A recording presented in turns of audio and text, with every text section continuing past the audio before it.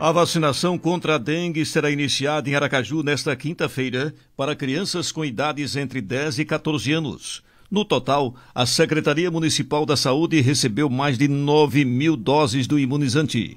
A vacinação estará disponível de segunda a sexta-feira em oito unidades de saúde da família, das 8 horas às 17 horas. Para se vacinar, é necessário apresentar documento de identificação, cartão de vacina e um comprovante de residência de Aracaju, que, no caso das crianças, deve ser em nome do adulto responsável. Três pessoas foram presas em flagrante por tráfico de drogas no conjunto Eduardo Gomes, em São Cristóvão.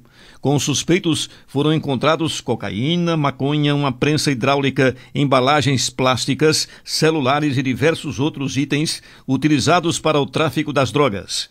De acordo com informações da polícia, populares denunciaram que estava havendo um intenso comércio de entorpecentes na região.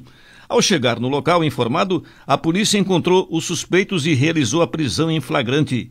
Eles, os suspeitos e os materiais apreendidos foram encaminhados para a delegacia. Nesta terça-feira, a polícia divulgou imagens do suspeito de assaltar moradores em uma residência localizada no bairro Santa Maria, em Aracaju. O crime ocorreu no dia 20 de abril.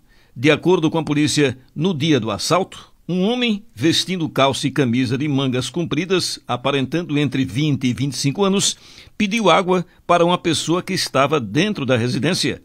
Quando a vítima foi buscar o copo d'água, o suspeito entrou no imóvel, empunhando um revólver e anunciou assalto.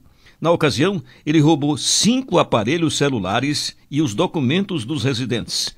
Apesar das investigações, o suspeito ainda não foi preso. Informações e denúncias sobre a localização dele podem ser repassadas à polícia por meio do Disque Denúncia 181.